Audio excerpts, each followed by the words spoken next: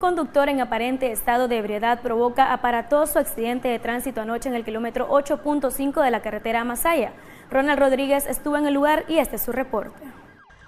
El supuesto estado de embriaguez y exceso de velocidad en que se desplazaba el conductor de este carro, identificado como Francisco Ramón Torres, provocó que perdiera el control del rodante y terminara estrellándose en la parte trasera de la camioneta Tucson, cuyo chofer José Ernesto Flete estaba detenido esperando el cambio de luz de los semáforos ubicados en el kilómetro 8 y medio de la carretera Masaya.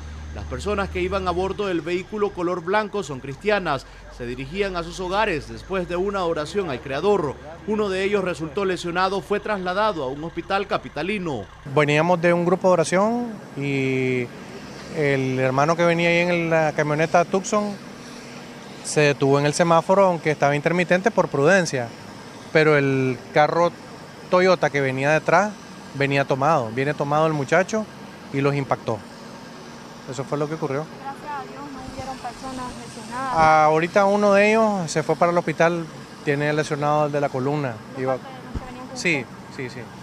Producto del impacto hubo derramamiento de aceite sobre el pavimento, por lo que fue necesaria la presencia de los bomberos para lavar la carretera y evitar otro accidente. El conductor señalado de provocar el suceso fue detenido. Los uniformados le practicaron una prueba de alcoholemia para determinar si iba o no bajo los efectos del alcohol. Con imágenes de José Ángel Díaz, en Acción 10, Ronald Rodríguez Solís.